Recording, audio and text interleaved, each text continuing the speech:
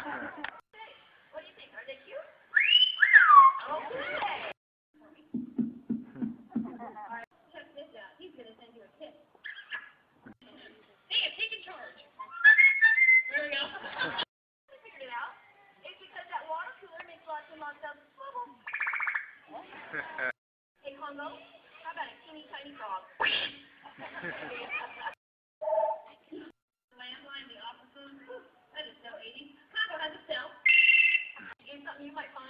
your home, your office, uh, maybe something like the telephone.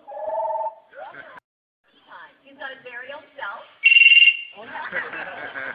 his exact thoughts in this situation was a very simple yet